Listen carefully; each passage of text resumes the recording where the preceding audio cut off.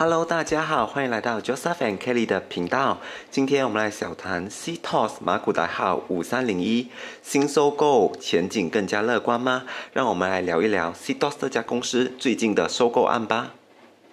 在八月九号，二零二一年的时候呢，C 道数字马股代号五三零一主板科技股呢，就表示会用两千六百八十万令吉的资金呢，增持泰国联号 Business Online Public 有限公司，简称 BOL 这间公司的二点六五八仙的股份，以扩展它在泰国市场的整个立足点。C DOS 公司也表示呢，这个交易呢是通过场外哦买入。在泰国交易所上市的 BOL 两千一百七十四万股，持股量呢从原本的二十八仙呢增持到二十二点六个八仙。CDOS 呢这家公司呢也是在去年十月，也就二零二零年十月的时候呢买入 BOL 这间公司的二十八仙的股权。有鉴于此呢，可那个投行研究呢就给出了 CDOS Digital 这家公司呢一点七五的目标价。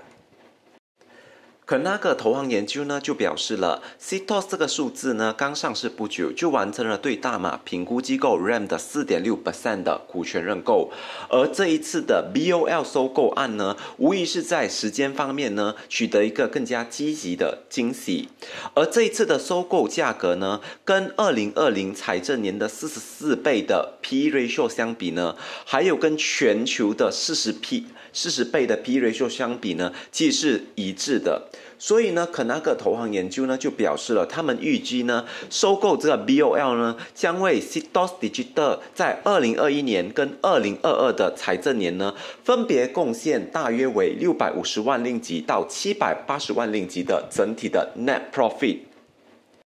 可那个投行研究呢为此就表示了，他们把二零二一。二零二二的财政年的核心净率预测呢，分别调高两个百分点，还有四个百分点。然而除此之外呢，由于这次的收购速度呢，比预期的还要来得快，还有。基多斯家公司呢，未来也即将进军巨大潜力增长的新领域，就比如说汽车啊、保险啊、房地产等等的领域。这无疑让大家呢，还有投资者呢，对于基多斯家公司的未来几年的净利增长呢，大感放心。所以呢，在完成这次的收购案，也去收购这个 BOL 过后呢，跟那个投行研究呢，还是预计现金的余额大约为三千五百万令吉，其中从他们的公开发股 IPO 筹集到的两千一百八十万令吉，将还是会用作于战略性的投资。因此呢，可那个投行研究呢，觉得。C 多这家公司呢，其实是无需筹集额外的资金来进行下一个投资的，所以综合以上上述呢，可那个投行呢，还是给予超越大市的评级，并把原有的一块四毛钱的目标价提高到了一点七五令吉。CTOS 这家公司的 IPO 价格为一点一令吉，从上市到现在的上市平均价呢为 RM 一点五五二令吉每股。从七月十九号到八月九号呢，你们也可以看到它的最高价呢就在七月十九号，也就是它的上市的时候呢，全天达到最高一块七毛六，而那个时候的成交量呢达到了三点六个 million 之多。接下来你可以看到它的表现呢就不如预期了，无论是成交量也好，还有价格。都没有再创新高，然而它的价格还是有保持在一令级五十线以上的价位。就算是有那个 BOL 的那个消息发放出来了，在八月九号的时候呢，它的股价也没有大幅的波动，上涨到快七千还是快六千，而且它的成交量呢也没有大幅的走高，所以呢，其实现在的它呢是属于着休息期的，也就是没有任何的大浮动，这样的公司对于短期投资者来说呢是没有很大的吸引力的。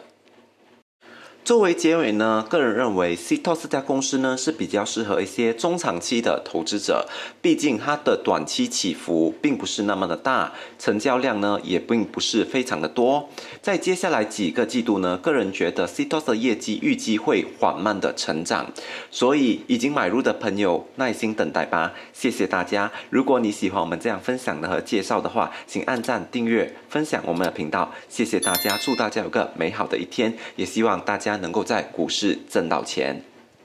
我们下个视频再见。